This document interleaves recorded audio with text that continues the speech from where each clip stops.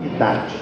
Meus amigos da TV do Povo, estamos de volta a ser humilde. com o lançamento da campanha de reeleição do deputado federal Leonardo Quintão. Neste momento, Leonardo tem ensinado é, está com a palavra o ex-prefeito de Patinga candidato a deputado estadual arrumou isso, deve ser 1500. no céu. Porque a mãe dele era Vamos ouvir um pouco do discurso dele. Eu, menino pobre, aprendi a ser valente e não levar desaforo para casa. Leonardo me ensinado, da hoje eu falei com ele, que eu agradeço a ele. O dia estava no PMDB, ele deu uns murros lá. Meu pai, aquietai-vos. Que os caras fazem a ata, você vira as contas, eles mudam a ata. 7 5 Jeremias, Maldito homem que confia no homem. Jeremias 17, 6 ou 7. Bendito o homem que confia no Senhor. Ele é como a árvore plantada à beira do regalo, do regaço do córrego. Dá o seu fruto no tempo certo.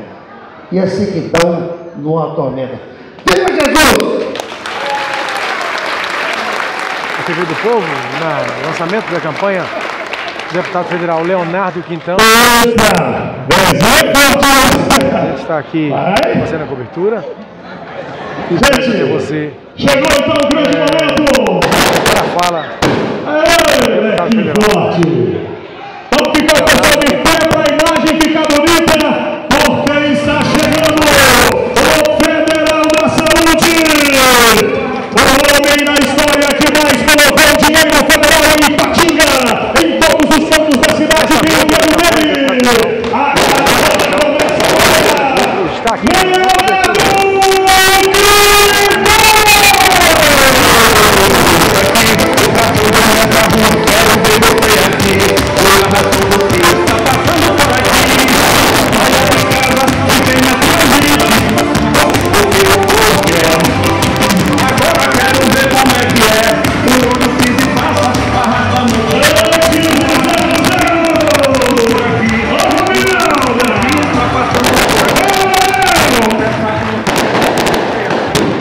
Lançamento da candidatura do deputado Boa noite a todos e a todas. Leonardo, Quero então. agradecer o carinho de vocês estarem aqui conosco. E já já a gente vai ter uma, Sexta-feira, uma né? coletiva de imprensa Hora com ele. dessa, deixa eu ver. São 8h40. Veja bem, gente, isso é quem está aqui que ama a cidade e quer realmente nos ajudar a estar no Congresso, ao Sebastião Quintão, ao Luiz Carlos Miranda, a estar ajudando através da Assembleia. Muito obrigado. Eu tenho certeza aqui, Luiz, que todas as pessoas aqui têm interesse na vida pública e sabem que é através da política que nós podemos fazer o bem coletivo para a sociedade. Então eu quero cumprimentar a todos que estão aqui, através do prefeito Nadiero, que é a autoridade máxima da cidade. Muito obrigado, prefeito. Deus abençoe Vossa Excelência, tá? Você é meu amigo pessoal. Gente, eu estou muito feliz de estar tendo essa nova oportunidade de pleitear uma vaga na Câmara dos Deputados para continuar servindo o nosso Estado. A política, ela é uma coisa maravilhosa. Ela é a arte que Deus dá ao ser humano aqui na Terra de servir a um, a dez, a cem, a mil e a milhões de pessoas. Luiz, eu vou falar de você aqui que poucas pessoas sabem. O Luiz Carlos Miranda, ele hoje é conselheiro da Uzi Minas. A Uzi Minas, há uns três anos atrás, ela ia pedir concordata. A Uzi Minas estava passando, Luiz, a maior crise da história da Uzi Minas dentro do setor siderúrgico, com uma disputa na Diego Rocha, societária, e além disso, uma crise econômica muito grande. E eu sou testemunha da sua liderança, Luiz, junto ao sindicato dos aposentados.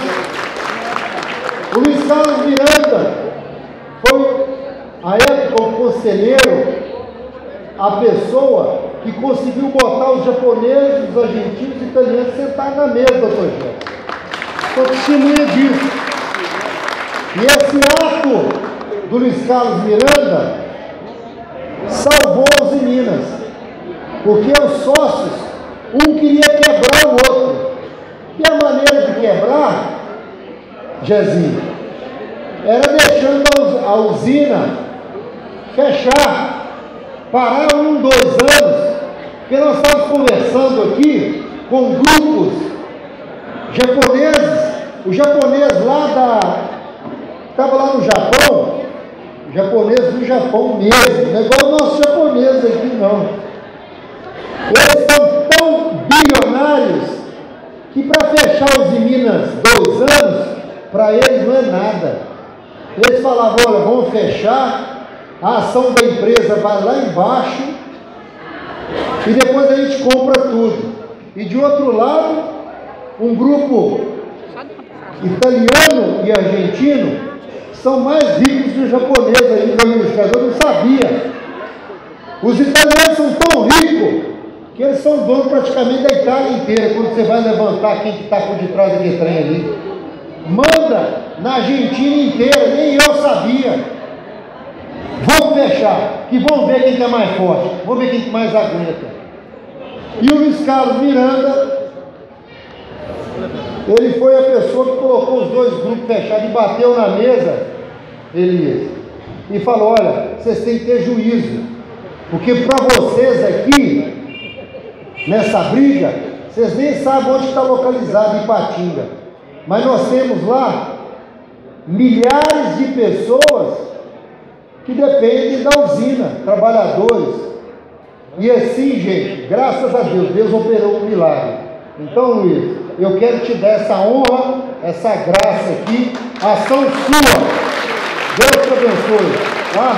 Eu reconheço isso. Eu participei em determinado momento também, ajudando nessa empreitada. E graças a Deus, através do diálogo, da liderança, nós conseguimos, a usina está aí, está de vento em poupas e vai ampliar o funcionamento aqui em Patinga e vai gerar mais milhares de empregos e mais renda para o comércio, mais emprego para a nossa cidade. Gente, falar do meu pai é muito fácil, porque o pai, ele me deu muito amor, carinho, pagou muita conta para mim e ainda continua pagando. E pai é pai. Demais da conta, nosso Deus. Meu pai, meu pai, eu falo para ele, pai, vai viver sua vida. Você tem aí 30, 40 anos ainda para viver. Está com a minha irmãzinha radaça, Nadia. Renata. Vai brincar com ela ele comprou um bodinho para ela que tem uma carrocinha, uma gracinha. E a menina já, já sabe andar na carrocinha. cobertura. Vai passear com ela, vai andar a cavalo, da vai reeleição, campanha de reeleição do deputado federal. Meu filho, então 15 a 0. Eu estou com a gente saúde. se encontra aqui. A gente volta Quando a qualquer Deus momento. me dá saúde, eu vou Fazendo mais servir as pessoas aqui